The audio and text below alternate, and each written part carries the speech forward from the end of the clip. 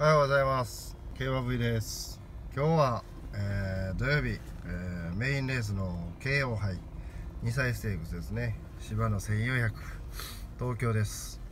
でこれは左回りですかね、はい、で一応自分が思ってる馬はちょっとね今日も仕事の方でね時間があんまりないんでパパッと予想の方をしていくんですけど表は2番の当選アンバー。で、えー、5番の大勢プライド。で、えー、僕の本命馬としては浅草元気のこの3頭ですね。まあなんでかいうとこのタワー・オブ・ロンドンもねルメールが今ずっと乗ってて今んとこえっ、ー、とこの間買ってるんですかね。1着で桔梗ステークスかなんかで。で一応買え一番買えるは買えるんですけどちょっと人気好きかなというのがあってちょっと1番あの今回外すことにしてで2番のこの当選アンバー。これもねあのー、先先週ですかねサフランステークスかなんかの分で3着に来てたと思うんですけど一応ね東京の実績は一応あるんですけどまああまり良くないんですけどねただクリスチャン・デムロ昨日も先,、あの、先々週も来てるんでちょっと期待しようかなと思ってデムーロクリスチャン・デムーロの方ですね。買おうかなと。どうせアンバー別に悪い馬でもなさそうなんで買おうかなと。で5番の体勢、えー、プライド。これも一応兄貴の M デムーロの方ですかね。ミルコ・デムーロの方が乗るんですけどまあある程度この馬前で競馬できる馬だと思うんでまああの1400で短いんでね出遅れさえなければ一応そのまま行ってくれるんかなと。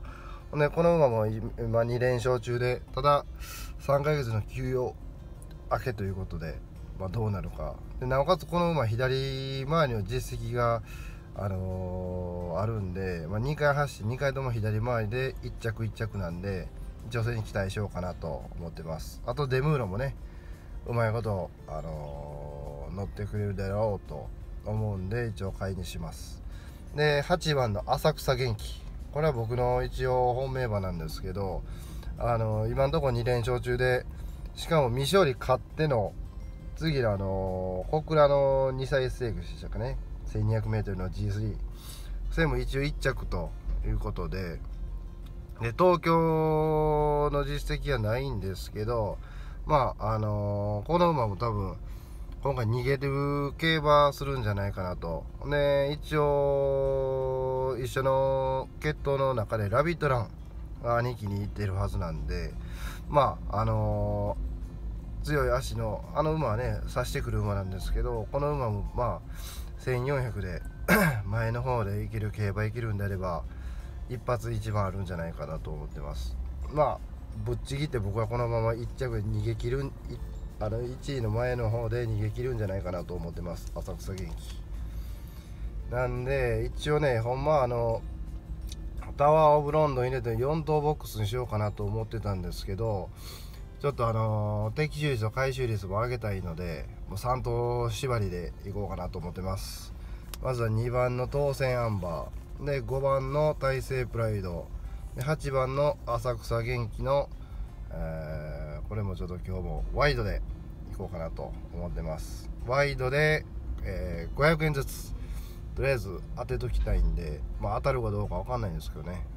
まああの KO 杯2歳ステークス。2番5番8番の、えー、ワイド。500円ずつ。